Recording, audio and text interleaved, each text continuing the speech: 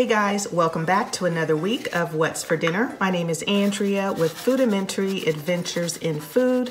We are kicking off this week of meals with Mississippi pot roast, and I have actually made Mississippi chicken thighs before, and I'll make sure to link that video somewhere in the description box for you guys.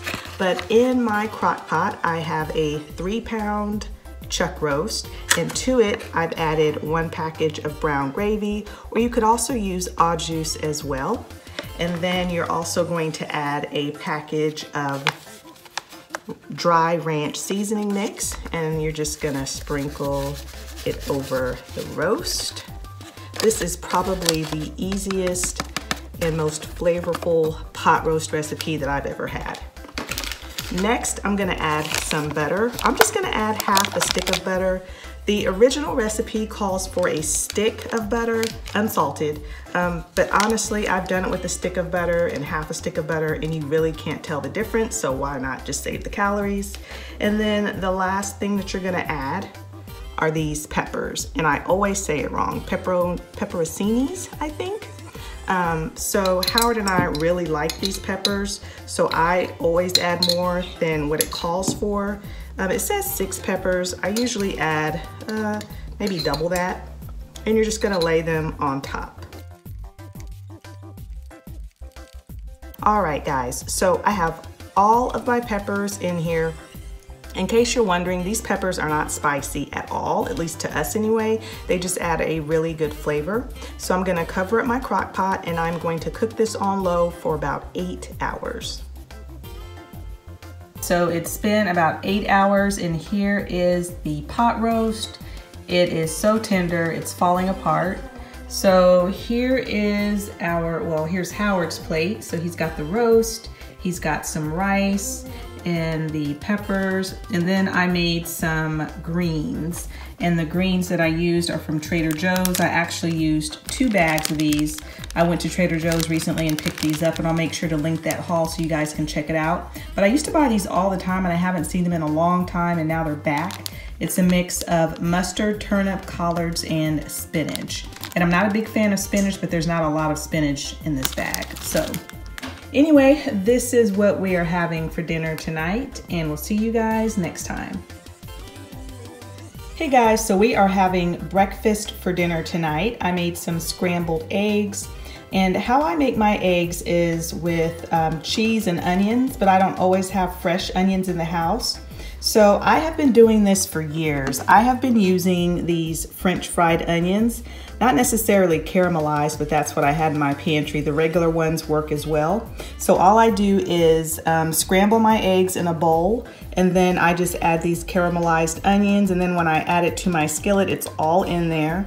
And then I had some fresh mushrooms that I needed to use. So I had sauteed some fresh mushrooms, added those in, and then um, I added in this white cheddar cheese as well.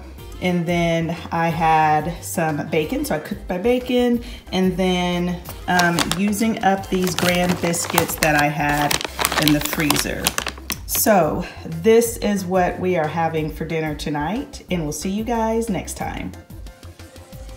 Hey guys, so for dinner tonight, I am making sausage Alfredo, and this is the sausage that I'm making. I know I've made this one time before. So all I've done so far is just um, slice up the sausage. I put it in my pan here, and I let it get nice and brown. To that, I am adding some heavy whipping cream, and I'll make sure to leave the recipe in the description box. So I'm adding that in and then I'm just going to let it come to a boil. And then after it comes to a boil, I'm gonna add in my pasta that I've cooked. I've cooked some penne pasta and drained it. And I'm gonna add in some cheese and some Cajun seasoning. But I will come back as soon as this comes to a boil. So my mixture has come to a boil and I'm going to add in my cheese and my Cajun seasoning.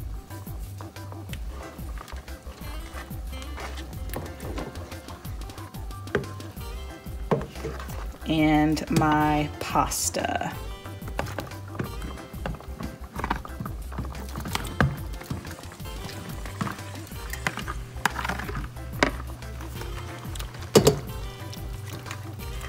I'm just giving it a stir and then I'm going to remove it from the heat and let it thicken up a little bit.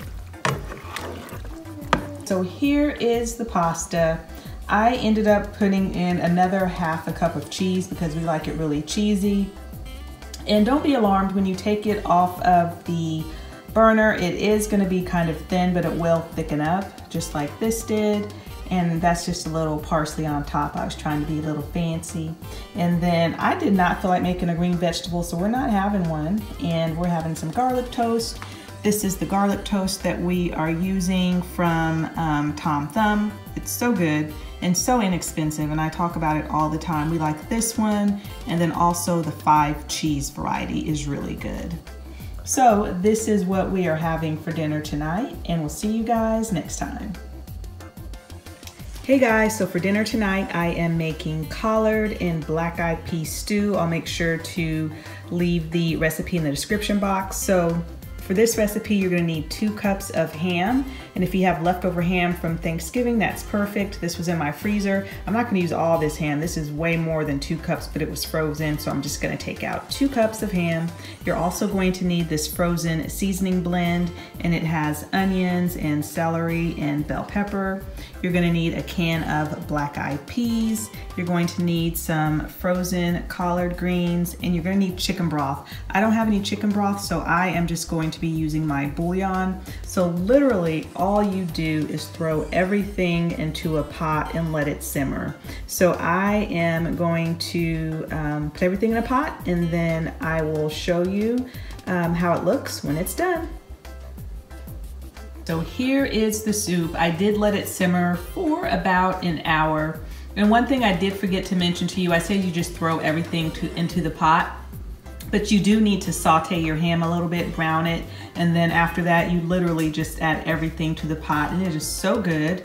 And with it, I made these Pillsbury cornbread muffin or swirls, I should say. You get six and we've never had these before and the way you're supposed to make them is to um, grease muffin tins and then just pop the bread in there. And so I did and here it is. And so this is what they look like and I cut one open so you guys could see it. Howard and I tried it. So what we decided is that it has the texture of a crescent roll. It doesn't really taste like cornbread but it is sweet like a sweet cornbread like a jiffy cornbread. And you do kind of um, taste the um, like the cornmeal in there, you, but it doesn't taste like cornbread. It's really hard to explain. I will say this, Howard is not a big fan of cornbread and he really likes these. These to me are just okay and I like cornbread, so if that helps you at all. So anyway, this is what we are having for dinner tonight and we'll see you guys next time. Hey guys, so for dinner tonight, we are having quick and easy from the freezer. So I have these wings in my freezer. They are from Walmart. I have bought these before, but it's been a long time ago. And so I made them in my air fryer and I only used probably less than half of the um, seasoning packet that came with it. And here they are. And these are really good. And we are also having um, some garlic cheese flatbread as well. I got this from Aldi a while back ago and we really like this and here it is on the cookie sheet and then I am just going to serve this with a little bit of marinara. So this is what we are having for dinner tonight and we'll see you guys next time.